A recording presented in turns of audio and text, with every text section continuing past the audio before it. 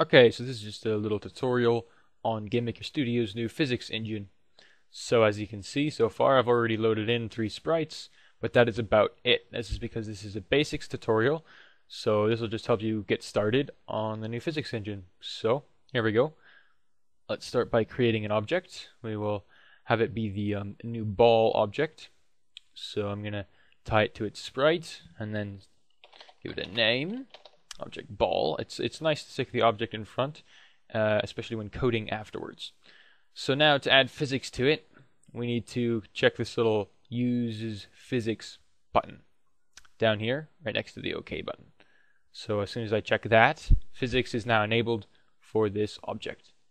So the important parts are the different options here, obviously. So the collision mask is the first and most important part we have here circle, box, shape in the options. I'm going to go with circle because obviously it is a circle. I can modify the collision shape. Um, very important button there. So what happens now is as we can see we have a little uh, circle over here that this is the collision mask. So all I have to do is grab that and move it over to the center of the ball. So as you can see it's it's aligned there. If I wanted to change it I could just do that and then it would instantly change it to different size. But this this will work just perfectly. So, yeah. There we have it. The ball now has physics. Next is density. This is how heavy it is. If you set this to 0, it will be static. But I'm going to leave it at 1.5, which is default. I'm going to leave the defaults for all of these. The collision group is states which collision group it'll be in, obviously. So if it's in a different collision group than a different object, then they won't touch each other. Like they, they won't have any interaction with each other. Linear dampening and angular dampening. This is just how fast it'll slow over time if it's moving straight forward and there's nothing else to affect it. It's as if it's hitting the air. So this will slow it down over time. And that's about it. That's all I want for object ball so far. I'm just going to quickly repeat that steps, those steps pretty much for the next one. Object box. There we go named it object box. Once again, uses physics, and this time I'm going to use the box shape, not the circle, for obvious reasons. And modify collision shape. I'm just going to move it over there. Perfect. We now have box. Alrighty. So, I'll hit OK with that one as well. Now for the last one, it's going to be a wall. So let's add an object. Let's add our SPR wall. Okay, and then once again gonna name it. Okay.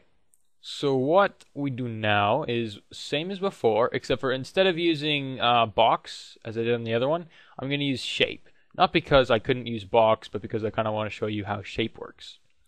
So here's how it goes. You start off here and then you just have to click to create your shape. So I could do this if I wanted to, but I don't want to.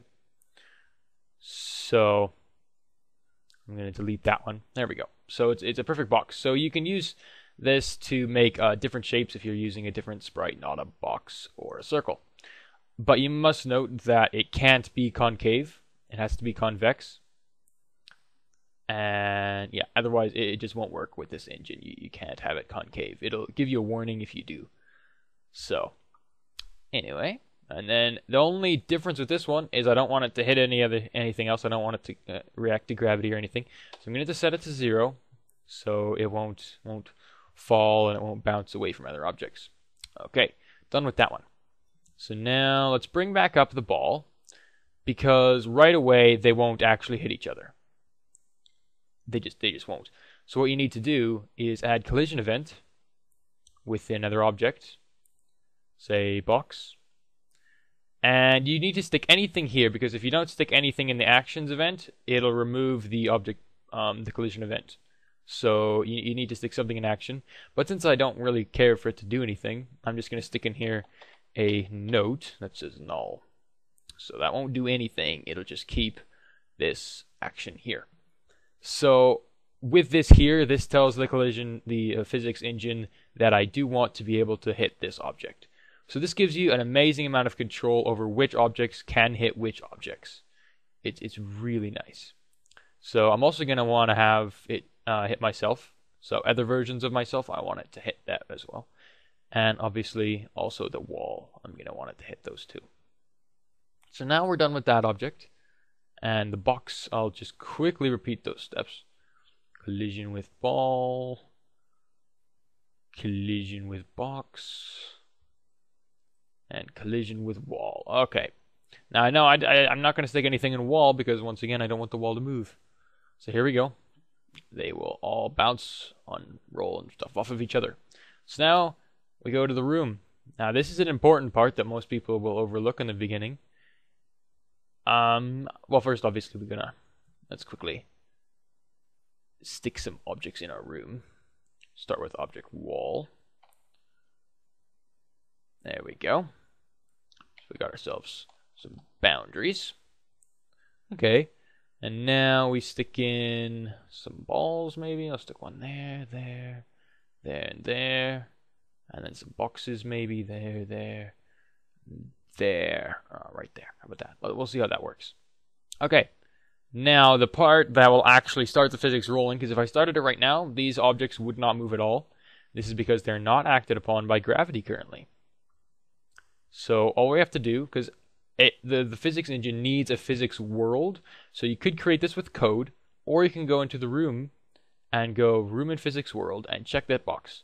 So this will let the room take control of the physics properties of the world. So it's defaulted to 10 gravity in the y-axis, which will make them all go down. And pixels to meter ratio, I'll just leave this at the default. So now, all done.